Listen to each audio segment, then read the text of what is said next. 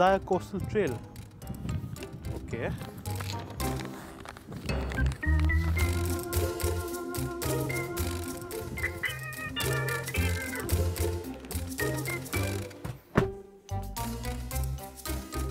So yesterday I got an email on my phone with a ticket that said I needed to come to Surat.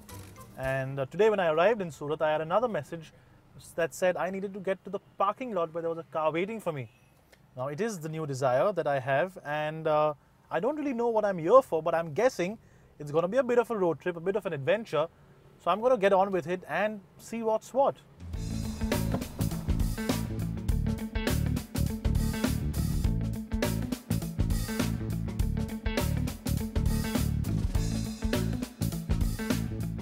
It's been 13 years since I came to Surat last, and my god, everything has changed and for the better.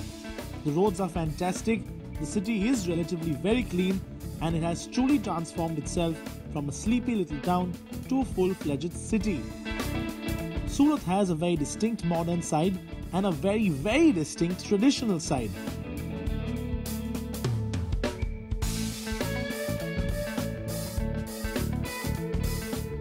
And while most houses are being pulled down to be replaced by newer ones, there is still a lot of really quaint areas left to see. But before all of that, it is time for a quick bite.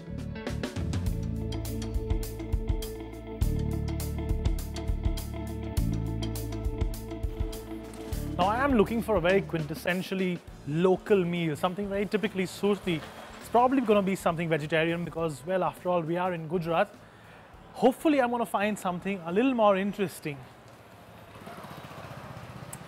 I do not believe it. Now that is a bit of a coincidence.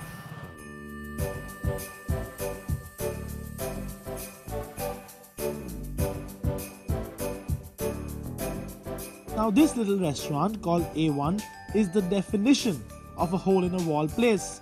In fact, it is run out of somebody's hall.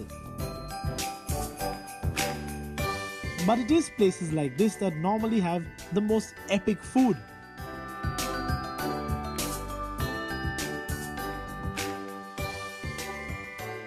Am completely spoiled for choice here because I know exactly what most of this on the menu means and what most tastes like. But I think I'm just gonna go easy today and order some masala dal chawal, as it's called, some sali margi, some akuri, and maybe a Parsi omelette to top it all off. Now, while Parsi food today is seen as one of the more extravagant and indulgent cuisines in India, mainly because of dishes like patrani machi, which is essentially fish wrapped in banana leaf, in reality, Parsi food is originally quite simple. So now that my plate is quite full, I'm just gonna do the obvious and start digging in.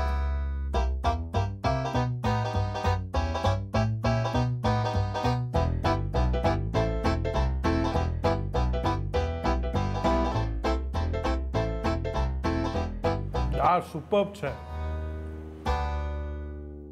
Heavenly. That is the only way I can describe a meal like this. Now, we are going to give this an indulgence score. In fact, every activity we do on this trip is going to get one of these scores. And considering the fact that almost nothing's left on this table, I think we're going to give it a solid 8 on 10.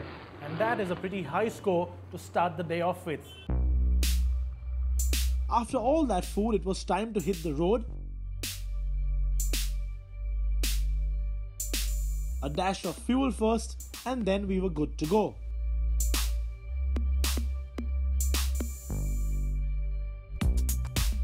Time to hit the open highways of Gujarat, which are some of the best in the country, and munch some of those miles.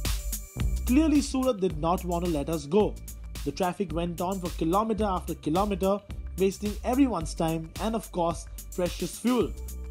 And that heavy meal didn't do me any good either.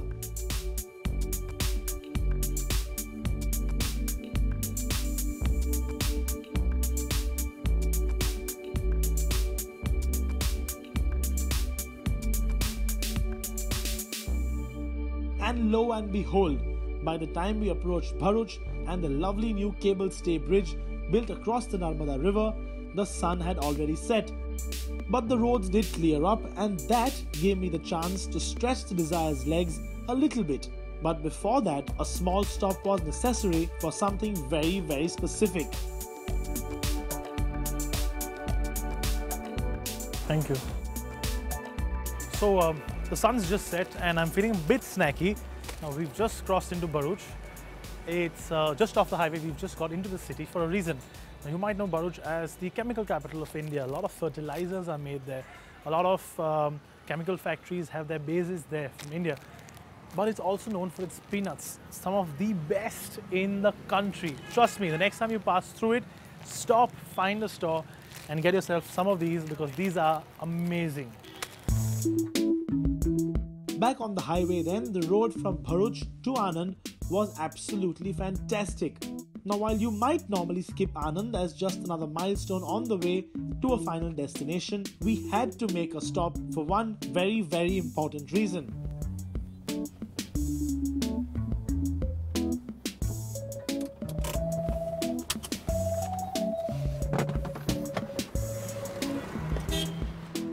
Oof. Now that has been a very long drive, being stuck in some really bad traffic and some lovely, lovely highways too. Obviously we are in Anand and that's why the lovely poster of Dr. Kurian. We are going to do our little homage to him and grab an Amul ice cream while we are here. But Anand is also where some of the best milk desserts in the country are made.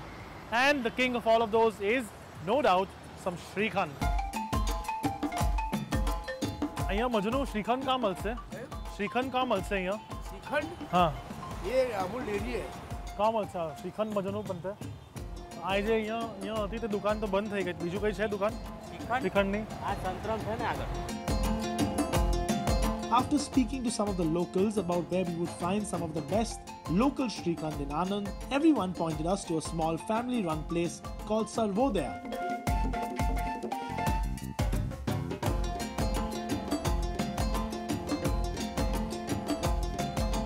Time to give it a shot then.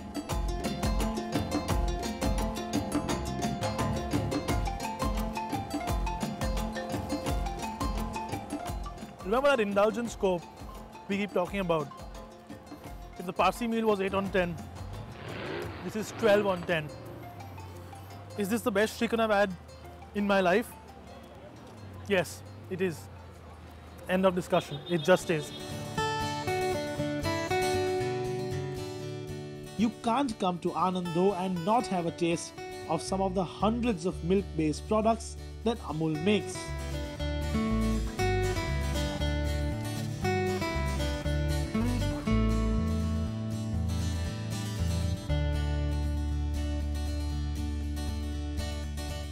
How can you not have an Amul ice cream in Anand? It is quintessentially what Anand is known for. Now it might not be it might not be as indulgent as that Srikhand we had earlier. We'll get an indulgence score of about 6 or 7 on 10. But this is comfort food. And if you're in Anand, if you don't have an Amul ice cream, that's a waste. Although I could have spent hours here having nibbles and bites, I really did need to hit the road and reach Bhavnagar that night over 160 kilometers away. The roads, a mix of national and state highways, aren't exactly great, but the Dzire makes mile munching ever so easy, especially with the automatic gearbox. We've had quite a eventful day today. It's uh, been a mix of some great, great driving roads, which uh, we'll enjoy a little more tomorrow morning. It's uh, been a lot of traffic, a lot of waiting, a lot of absolutely phenomenal food, and some lovely desserts to top it all off. Uh, today has been more about food. Tomorrow, though, is more about seeing some places where you would normally never stop as a tourist, some offbeat stuff. So that's something definitely to look forward to as well.